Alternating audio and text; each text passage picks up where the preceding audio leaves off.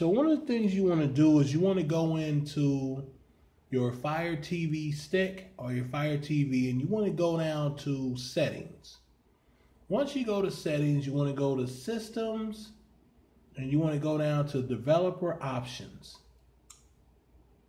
And you want to make sure that you turn on ADB debugging and you want to make sure apps from unknown sources is turned on as well. Okay? So make sure both of those tabs are turned on. And then once you do that, guys, in the same systems app, I want you to go to About.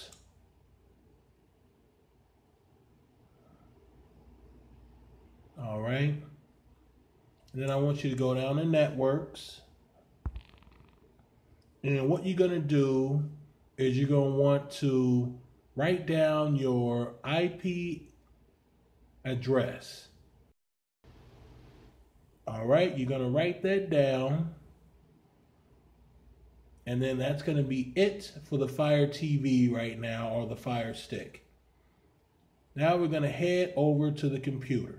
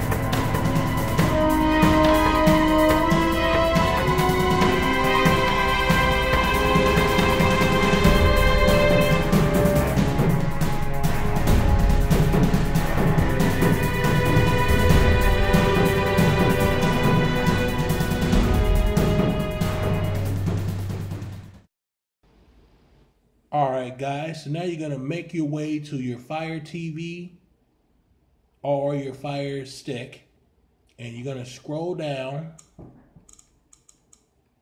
to settings, okay? Now, you wanna also go over to, but you probably can't see it, but applications. Now, I have a password code on this, so I'm gonna put my password in.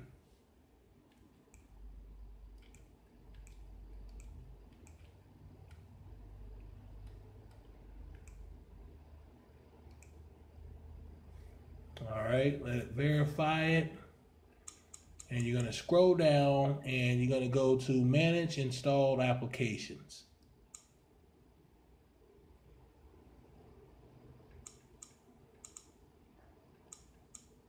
Xfinity TV Go. All right, you're gonna click on it.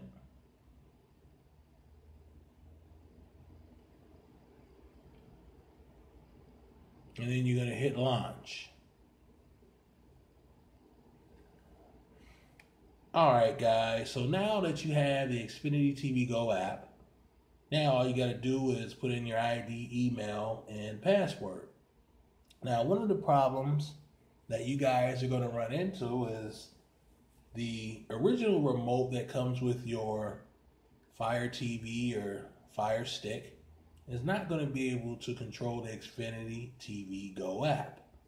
Um, you can play around with it until you're blue in the face, but it's not going to work. Now, luckily for me, the BT Bluetooth controller, I did an unboxing, I did a review on this, I synced this to a lot of different um, devices like the Fire TV.